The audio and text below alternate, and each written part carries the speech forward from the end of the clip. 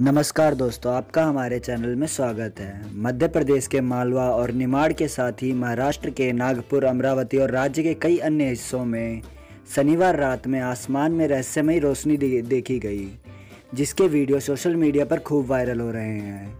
इन videos को देखने में ऐसा प्रतीत होता है, मानो कोई उल्का पिंड या पुच्छल तारा हो।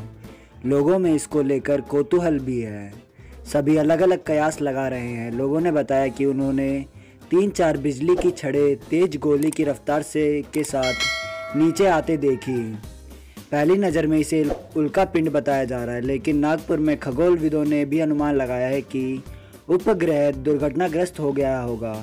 वहीं मध्य प्रदेश के मालवा और निमाड़ इलाके में भी करीब आठ बजे लोगों ने आसमान से उल्का पिंड जैसी वस्तु गिरते देखी। वहाँ भी लोगों में इस आसमानी घटना को लेकर हैरानी है।